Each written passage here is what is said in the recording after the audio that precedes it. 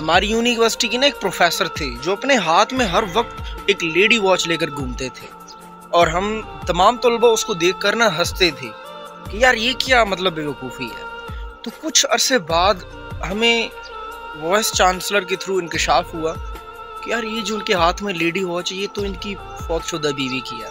तो इस वाक़ी से हमने सीखा कि किसी के बिछड़ जाने के बाद दिल में दर्द महसूस होता है।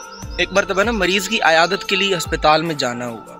तो एक लेडी सीढ़ियों पर आ रही थी और उसके पीछे ना कुछ अफराद थे। तो शायद अचानक किसी का हाथ लगा और उसके ना विग गिर गई, बाल गिर गए। तो सब वहाँ पर जो लोग थे वो उसको देखकर हंसने लगे। तो वो बेचारी रोने लगी। एक लेडी उसके पास आई और उससे पूछा कि, आप रो क्यों रही हो? तो कहने लगी, इसमें मेरा क्या कसूर है?